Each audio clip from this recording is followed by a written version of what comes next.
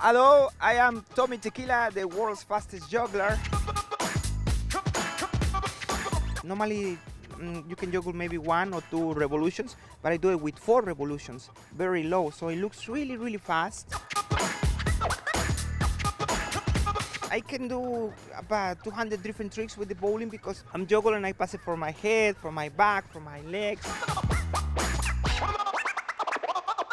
It's a lot of practice. You have to practice like maybe eight hours a day- but it's a lot of fun. My grandfather has a circus, and then my mom was in the circus too, but she cannot juggle. And either my dad, they they wonder how can you juggle? We never can do that. The speciality is the ping pong ball. It's like when you go at the cinema and you play with the popcorns, you throw the popcorn and you catch it with your mouth. It's exactly the same thing. I'm juggling hats. They are boomerang hats because I throw them on the air and they come back to me. Hey! My wife is interesting because she's not from circus family. She's an engineer. She joined to the circus and she learned to do the trapeze. And my daughter is, is Kiara. She's eight years old. She's doing homeschool. She doesn't practice any discipline yet. We still try to look what she likes.